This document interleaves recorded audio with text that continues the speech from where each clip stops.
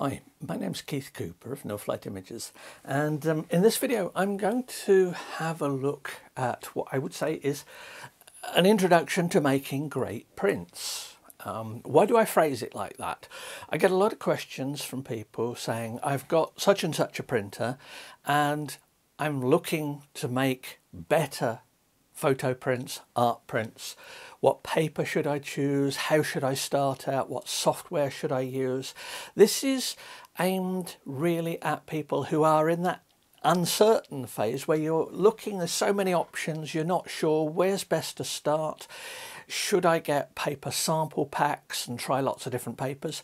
Quick answer to that one, no. I'll come back to why. Um, but in general, where do you start?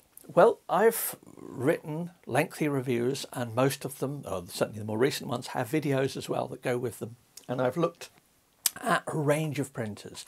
Now, they tend to not be the very cheapest printers because with those, whilst I could make great prints, quite possibly, um, it would be a lot of work. Um, and the market they're aimed at, you wouldn't have the software and equipment necessarily to make really good looking prints. You might be lucky, you might get good prints straight out of the camera, out of connecting camera to a printer or something like that.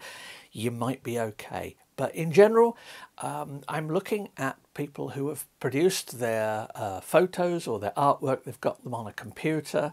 Um, if you've got them, if you've produced stuff on a on an iPad or something like that, transfer it over to a computer to do the printing. It really is a lot better.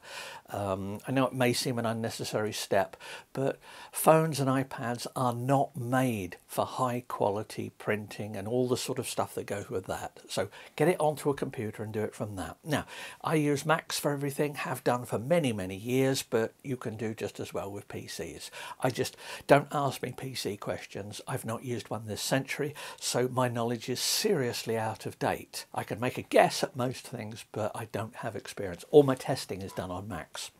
So I've got reviews. I've also got things called profiles, which are available on request, for different papers, and I'll come back to what profiles are and what they do, although I've got loads of other videos. Uh, if you're curious, if you're, you're new to my videos, have a look in the notes to this. There is a link to a complete index page of all my videos.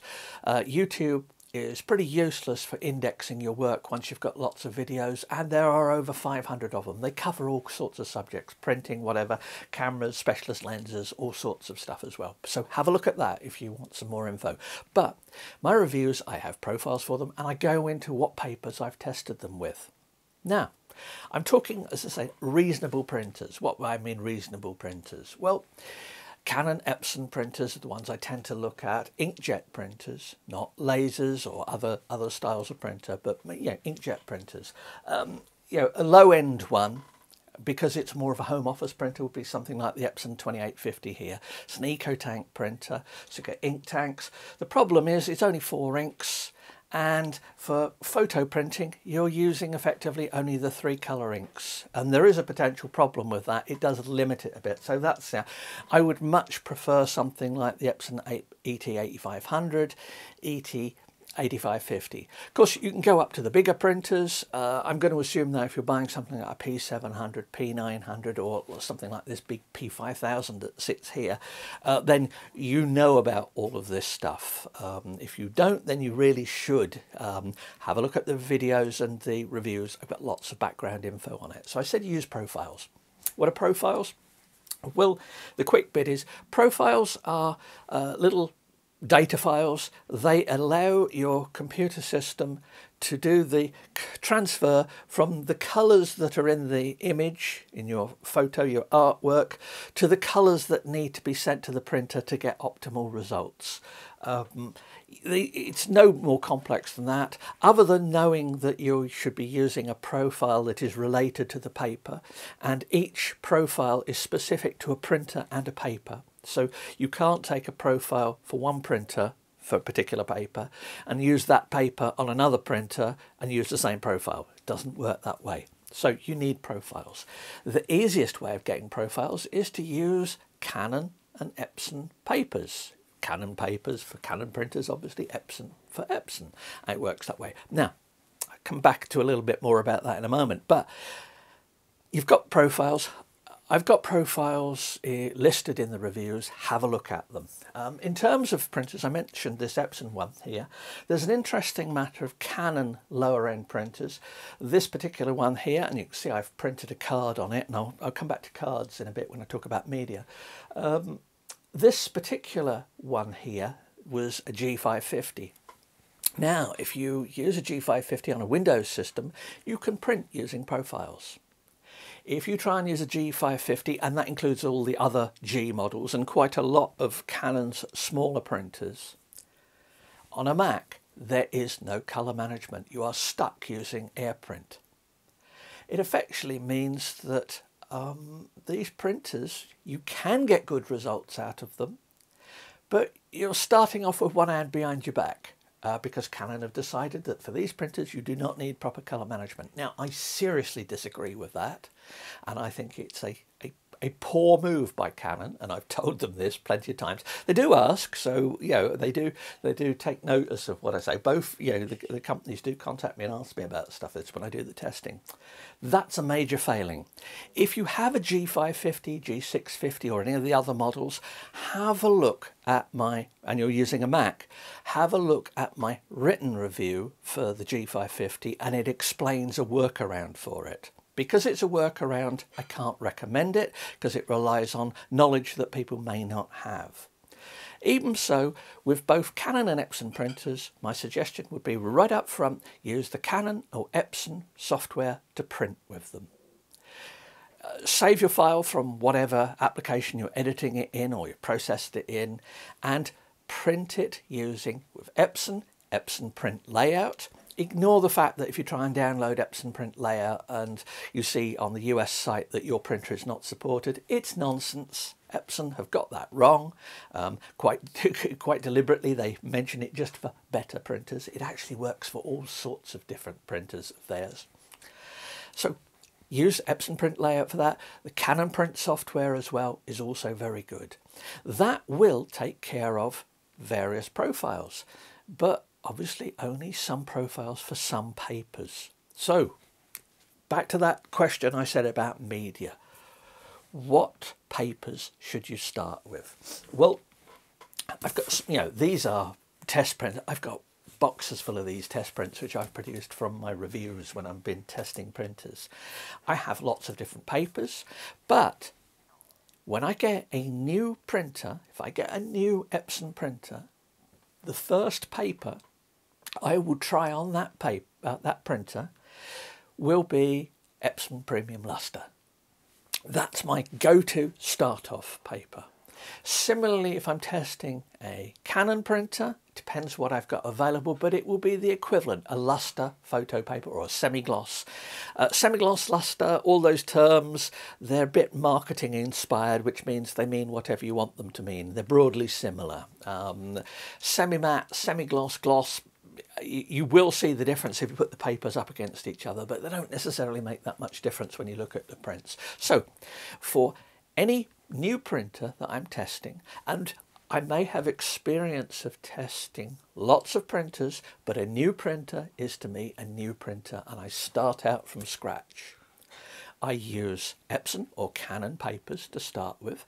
Doesn't mean that I'm saying anything against third-party papers. In fact, if I remember right, both of these prints are done on third-party papers. Makes no difference. But to start off with, use the OEM, original equipment manufacturer, Canon, Epson, use one of their papers because their software will have been tuned on that printer to work particularly well. And the other key thing is when people say, well, what papers do you start? I said, you know, start off with a luster. My choices would be to general, yeah, depending on how many papers you want to start off with. The simple one for photos is premium luster or Canon luster equivalent. You might decide, and it depends on the printer, some work better than others, you might decide you want a glossy print. Now, this one I'll move it about and you may well, you can see the reflection on it. Uh, this is just a, um, length, long length set as a custom size and printed as a panoramic seen at Porthleven in Cornwall. And um, that's multiple images stitched together and know, on, a, on a stormy evening. yeah, so we've got, that's a gloss paper. So what papers to start off with? A luster. Maybe a gloss if you like glossy photos. Glossy photos tend to work better at smaller sizes. As you get larger and larger, uh, this is uh, this is an A3 plus or 13 inch by 19 inch print. As you get to gloss at this size, the reflections of it become more and more troubling. You might say this is a matte paper. You can see there's no reflections. This is uh, Cannon Beach on the Oregon coast. You can see no reflections when I move that about. Um, this particular paper, this is an art paper, cotton rag type art paper, but you may decide you want a matte, or yeah, there's ordinary matte papers, uh, matte photo papers, and you get art papers. The art papers tend to be a bit more expensive, so you might not want to initially start with that. You might want to just start with some basic matte. Uh, the Epson one would be Epson Premium, Epson Archival Matte, EAM. There are several matte papers that will do for that. And as I said, by using Epson or Canon papers, you will have the proper profiling for them. So you won't need to worry about getting profiles. If you go to an art paper, they do some like uh, rag papers, fine art papers. You'll see the settings for it. And for some printers, such as this 2850 here, if you use the art paper print setting, it uses all four inks. So this particular printer, although it may not be great when you print a glossy colour printer uh, photo, actually if you print it onto a matte paper, because it's using all four inks, you can get surprisingly good results from it. Try other things, try printing black and white on this, and you are likely to be disappointed. But as I said, this is more a home printer. You want a big printer? This thing here that I'm sitting next to, um, that's that's what I call a big printer, and uh, that's uh, an Epson P 8500 if I recall rightly. Um, 44 inch printer printing out large black and white panoramic prints. Um, so you've got this. I've what sorts of paper? The basic four gloss luster matte art paper. And that should be all you need. First thing to print though, and this goes for any new printer that I'm testing, um, now this image is downloadable and I put links to it in the notes to this. This particular test image is my standard test image. It tells me what the black and white quality is like, it tells me different colours.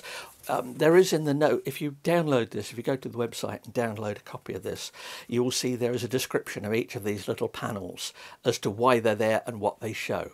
Now, if you can't produce a great looking print of this image, which is a standard test image, then what hope have you got for printing your own images? Do not use your own images to initially test a printer. Use something like this, even if you only print one copy of it, to see that everything's working. Because if this comes out wrong, you've got something wrong somewhere. You know it's not the image because it's a standard test image. So use something like this to test that everything's working okay, that you're comfortable with the software. If you want to print borderless, by the way, um, borderless, uh, it takes a bit of care because the image needs expanding over the edge and that ink has to go somewhere so um, there are pads in the printer which will normally pick it up. Borderless doesn't work with custom print sizes. Normally you will end up with borders. Um, borderless is available on many printers but do check the specifications to see whether what you want is available. If you're doing black and white, I've got a black and white test image. Now this black and white test image I created years ago, different versions of it, and it's been downloaded thousands and thousands of times by people over the years. And I can do a black and white print on this and I can look at this and what's in this tells me instantly whether the printer is probably any good for doing black and white. Remember, black and white is more difficult for printers to do well than colour.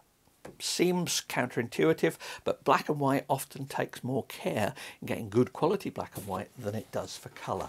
So you need to take care. But I've got lots of stuff that covers all of this. Just check the references and stuff. I mentioned cards earlier, cards here. If you were going to be printing cards, you'll notice that one there is printed borderless. That's only some sizes work at, borderless, so you have to be careful with that. I have test images, by the way, which are the right format for printing cards, for using an image like this for testing cards. They have text on them and stuff like that, so you can see how fine the text is printing. But that is a specialist card media. It is an inkjet media. When people contact me and say, I'm using such and such £160 cardstock, I instantly suspect they're going to have problems. Cardstock is a term used for generic commercial printing. If it is not specifically made for inkjet printing, the results are likely to be poor. And I know loads of people who've tried printing on pre-cut cardstock on all kinds of printers, even quite expensive printers, and the results just look awful. Why is that? It's the wrong paper.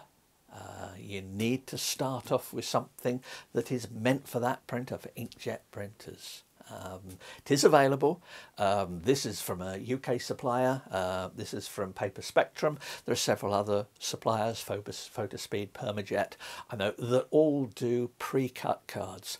Um, there are suppliers in the US and elsewhere for it. But do make sure that your cardstock is meant for printing on an inkjet printer because otherwise you'll likely be disappointed. And if you've got a big box of the stuff that now won't print well you know work that one out yourself. So anyway that's my basic guide to getting into doing better prints. Anything more than that i'm getting quite detailed over stuff. So the key is use a printer that's up to the job. Start simple with your media. Don't get lots of test packs and things, print a test image, and use the Canon or the Epson software. Um, and that should get you started. Once you've got that, once you can produce a great looking print of this test image, then all you've got to do is take great photos to print. And that's all there is to it. Um, this is just the technical bit just simply about taking photos. Um, obviously it isn't. But anyway, I hope that's of some help. Um, please do ask questions if you've got any, because it's people's questions that specifically give me the ideas for videos like this. I've covered similar topics to this in other videos. Have a look at that video index. Uh, it's got details of everything organised by category. Um, so, you know, hopefully that's of help. Uh, thanks for watching and bye oh, please do subscribe to the channel. Thanks.